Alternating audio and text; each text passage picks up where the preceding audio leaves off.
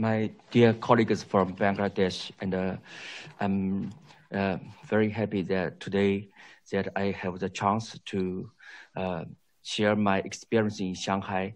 Uh, our city, actually, we spent almost two months to control the disease.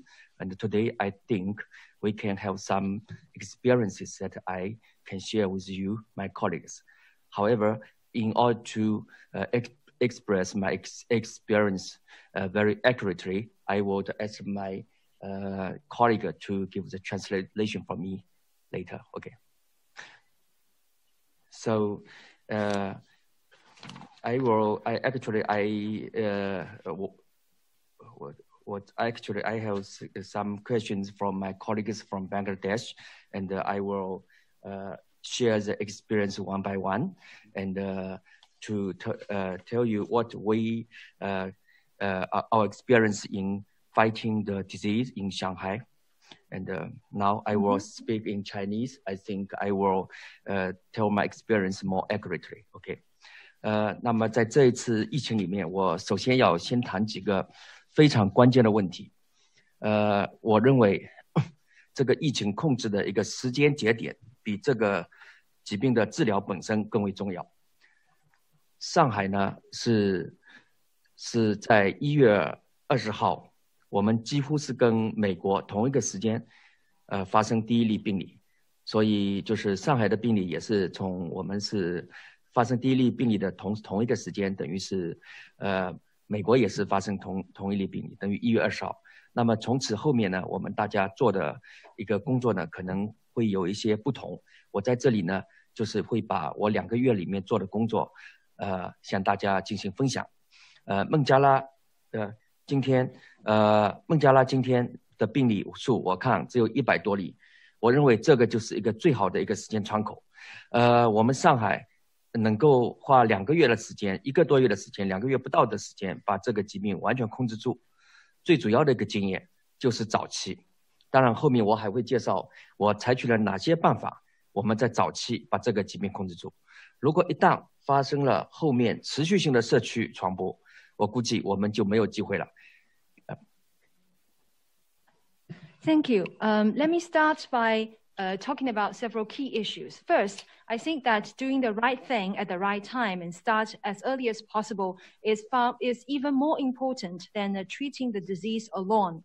In fact, on January the 20th, Shanghai reported its first confirmed case, which is almost the same time as the US found its first confirmed case. However, ever since then, the two places have done their job quite differently. I'm going to tell you what me and my colleagues have been doing in the past two months. I have uh, read the numbers of Bangladesh and the country by now has only reported a little bit over 100 confirmed cases. So I think that as you as we talk, you now have the best time window, and uh, uh, you must grasp these very good opportunities.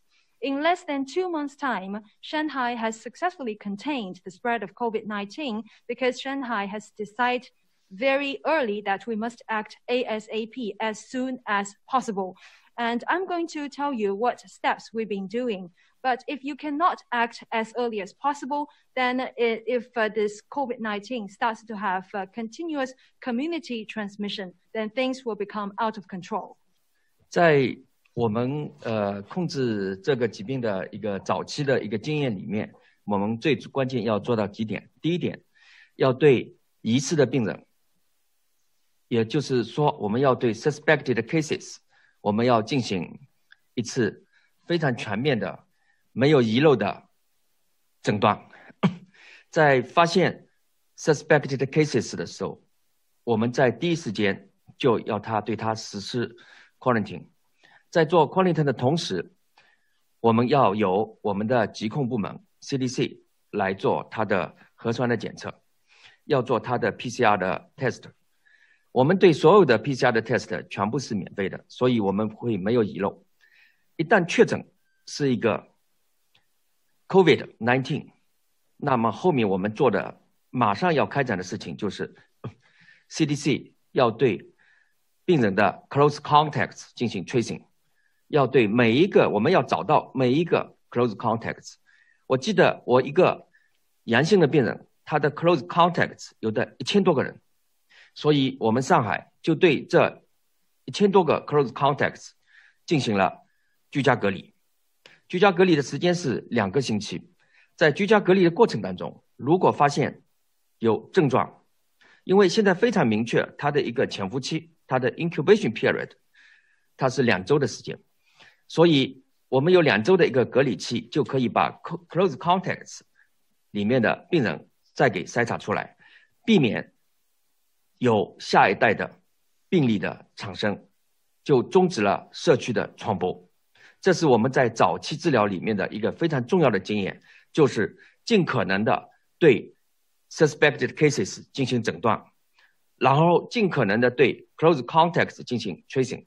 那么这两点做好的话，我们就会在早期的非常关键的时间窗口里面，我们把疾病给控制住。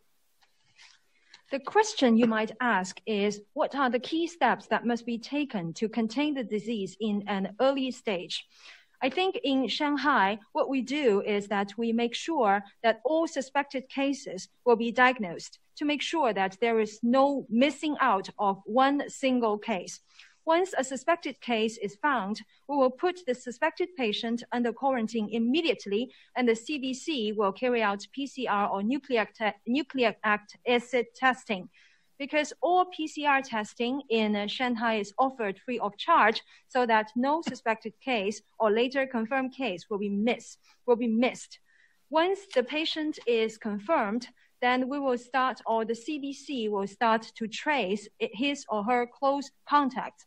And this close contact tracing or contact tracing is very important. If I remember correctly, one of my positive patients who was tested positive for COVID-19 has as many as 1,000 close contacts. And once they're found, all these 1,000 plus close contacts are placed under home-based quarantine for two weeks. Why two weeks? Because two weeks has been found to be the incubation period of COVID-19. And during this period, if any symptom of the close contact is found, he or she will be put for further measures. The two weeks is long enough us to find any new patients out of the close contacts of the confirmed cases so as to prevent the next generation of disease as well as uh, community-based transmission. So in the early stage, our most important experience is that make sure we must diagnose each and every suspected case and no single case is missing and make sure that we must trace all close contacts of the confirmed cases to make sure that no one is let out.